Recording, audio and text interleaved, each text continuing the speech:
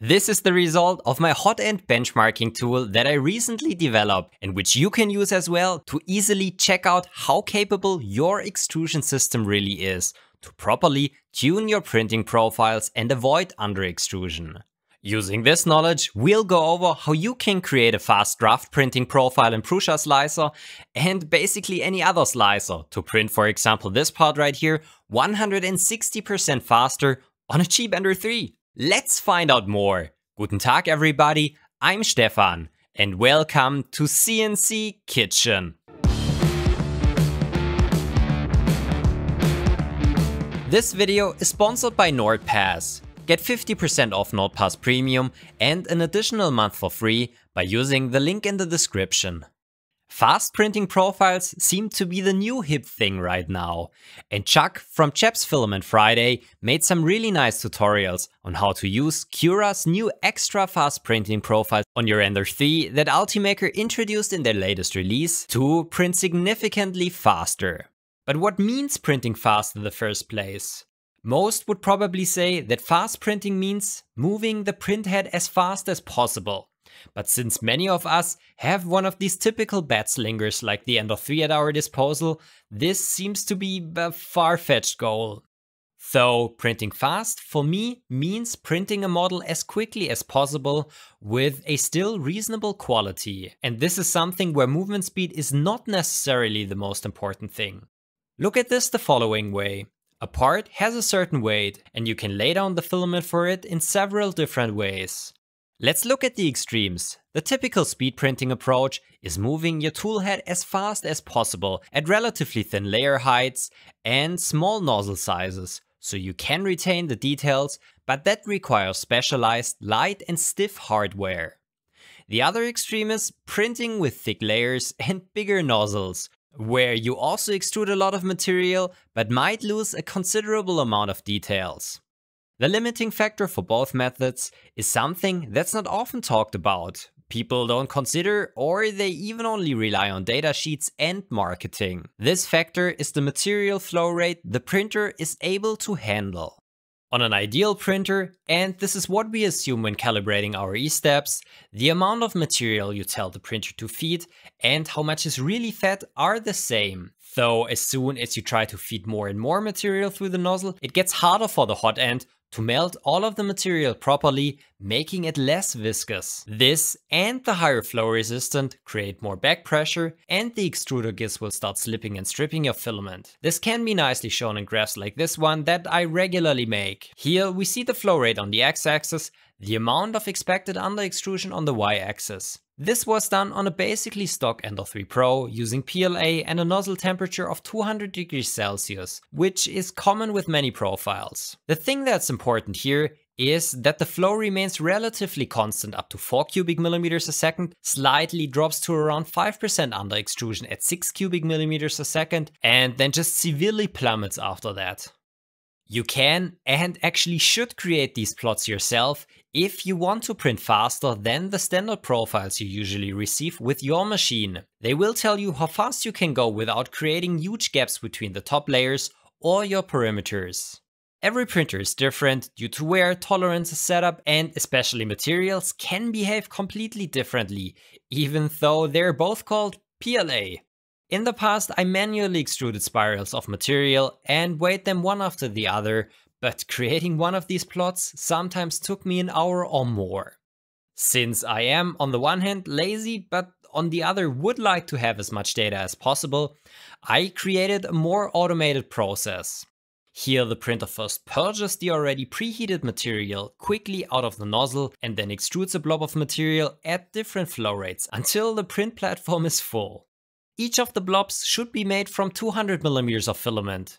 But the faster we feed the filament, the more it slips and the less plastic will be extruded. When the test is over, I weigh each of the blobs on a milligram scale, which you can get for cheap on Amazon, and plot the weights over the feed rate. Since I need to use different parameters for each printer, hot end and material, I wrote a small tool that allows me to adjust settings quickly and automatically generate a test G-code. This tool is currently still written in Visual Basic, but as soon as I get some feedback from you, I'll make a small web app out of it, which will be easier to use. If you try the current version, please give some feedback on what works, what doesn't, and what else you'd like to see implemented.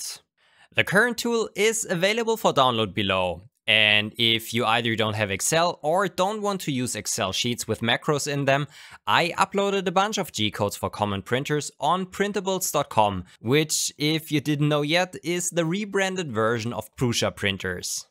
The amazing thing about this tool is not only the ease of use, but it allows me to show you the error bars on my extrusion tests finally, and easily create bigger studies. In particular, this is the temperature dependence, because the tool allows me to print each row at different nozzle settings.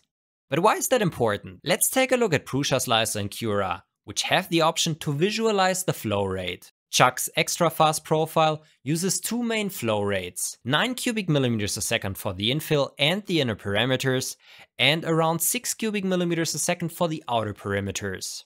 If we take a look at our previous graph, my Ender 3 Pro using some redline PLA at 200 degrees Celsius is hardly able to feed filament at these flow rates, which shows on the parts because they have gaps between the perimeters and on the top surfaces. So I did a flow test on my Ender 3 using the same material but at higher temperatures. The difference in flow capability is staggering. Rising the nozzle temperature to 220 degrees Celsius easily lets us print at 8 cubic millimeters a second and 240 degrees Celsius increases it to around 12 cubic millimeters a second before dropping off. Scaling the flow rate by the amount of under extrusion finally perfectly shows the capability at different temperatures. 6 cubic millimeters a second at 200 degrees Celsius, 8 at 220 degrees Celsius, and around 12 at 240 degrees Celsius. This also shows why just increasing the flow multiplier won't help close gaps if you want to print fast. There is a physical limit what your extrusion system can handle.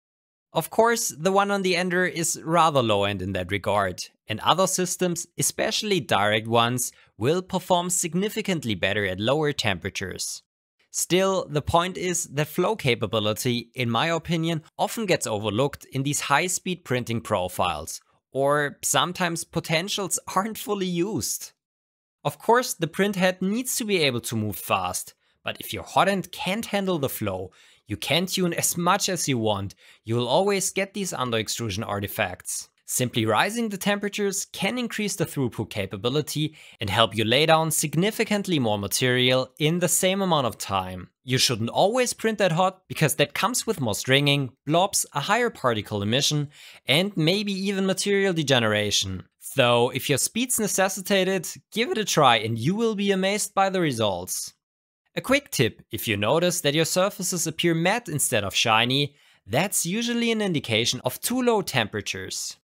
This was all about how you can evaluate how fast you should be able to print, but how do you create a fast printing profile in the first place? If you're using Cura with any sort of Ender 3 type printer, watch Chuck's video and download his profile with the additional remark on raising the temps a little if you see under extrusion. I'll be going over the settings for my Ender 3 and Prusa slicer instead to reduce the print time of this Voron part that I took as an example from 2 hours and 12 minutes to only 51 minutes. This won't be a profile for the next world record speed benchy, but a solid selection of settings for a very fast draft quality profile, with changes very similar to what Cura's extra fast profile uses. I'll start with a standard 0.2mm profile with 3 perimeters and 30% infill, which I usually use for my functional parts. The most apparent change to speed up a print is increasing the layer height from 0.2 to 0.3mm. Since the layers are thicker, we can reduce the number of top and bottom ones while retaining the same wall thickness. This scales very well and reduces the time already significantly to 1 hour and 33 minutes. The next parameter is extrusion width, so the width the extruded line has. We can simulate a bigger nozzle by increasing this value to 0.6 millimeters, which works surprisingly well on a 0.4mm nozzle. This means that for the same amount of infill, we need to draw fewer lines, which is faster. Since we increase the extrusion width and therefore the wall thickness by 50%, we can reduce the numbers of walls from 3 to 2, which also saves time, and we land at 1 hour and 12 minutes. This parameter, of course, will reduce the amount of details the printer is able to resolve, similar to a bigger nozzle. Prusa Slicer and Cura will allow you to tweak the individual thicknesses of the inner and outer perimeters, which you can use to print fine details on the outside and increase the thickness on the inside for maximum flow. Next, of course, come the movement speeds themselves. They are often kept quite low in stock profiles to maximize printing quality. An Ender 3 and many other machines can easily handle 60mm a second or even more, with only slight degeneration in quality. If you like, you can again change the speed of different features individually. I usually print perimeters a bit slower than the rest for optimal quality. This decreases the print time further to 1 hour and 3 minutes. Unfortunately, the quality at this point was horrible, and my Prusa slicer part looked way worse than the one with Chuck's Cura profile. All the corners were slightly over extruded, and I had tons of blobs on the surface. I tried to fix that for half a day and was almost about to kill this video until I figured out the problem. We get these over extruded corners because the printhead needs to decelerate before a corner and then accelerate again. Since a Bowden extruder is quite a springy system, it will continue extruding material at a constant speed, even when the printer decelerates, leading to overextrusion. Linear advance and pressure advance can reduce that problem. Still, since this feature isn't activated on the stock Ender 3 and even doesn't work that well on Bowden systems, we need to reduce the problem differently, and this is getting around the corner as fast as possible. Most would probably try increasing accelerations, but they don't actually change that much. The important parameter is jerk, which describes the maximum instantaneous speed change without the need for accelerating or decelerating. Some think this is fixed in firmware, but you can actually change these values via G-code commands. Cura does that when activating acceleration and jerk control. In Prusa Slicer, you need to emit them to G-code. Increasing jerks from 8 to 20 mm a second improve the quality significantly, only cost minor ringing, and chewed off another 12 minutes from our print time, resulting in a final duration of 51 minutes and beating the Cura profile by almost 10 minutes. The last thing remaining is checking the flow rate, which is around 10 cubic millimeters a second in most of the print. My hot end benchmark showed me that I need to increase the nozzle temperature to at least 220 degrees Celsius, better 240 degrees Celsius to reduce under extrusion. I settled with 230 degrees Celsius and honestly got some good looking prints from my old Ender 3. Of course they're not as good as with my standard profile, but the part is printed more than twice as fast. My Prusa Mark III with its direct extruder and more capable hot end can produce even nicer looking prints at similar settings because it can better handle and control the flow. On such a system, if the extrusion and motion systems allow it, you could now continue increasing speeds, accelerations and thicknesses until you're either not happy anymore with the quality, your extruder skips, or cooling is not sufficient anymore. In the end, it's important to understand and not only copy the principles we have applied and how they affect printing speed and quality to get the most of our machines with any of the slicers that you use. Bonus tip at the end. If you have a very detailed model and your printer struggles with all the small print segments, play around with the G-code resolution in Prusa Slicer or the resolution and deviation in Cura. I have made a whole video about that in the past. And now a final tip sponsored by NordPass. Remember last year's data breach at one of the biggest 3D model websites where over 200,000 accounts were affected? If you had an account there and used the same password that was leaked, also on a different website, it's very easy for hackers to log into those accounts.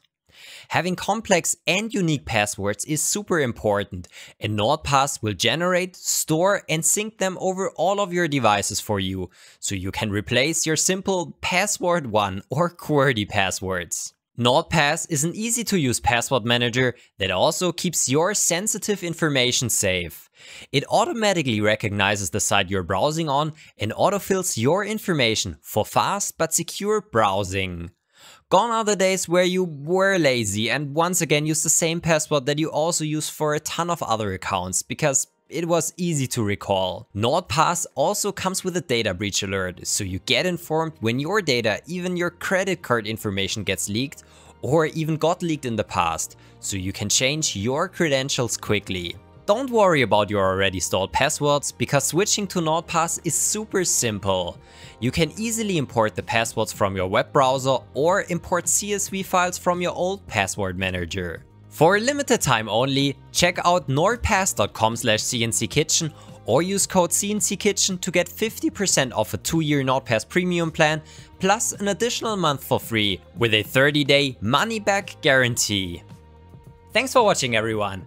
I hope you found this investigation interesting. If you want to support my work, consider becoming a patron or a YouTube member and check out the other videos in my library. I hope to see you in the next one, auf Wiedersehen and goodbye!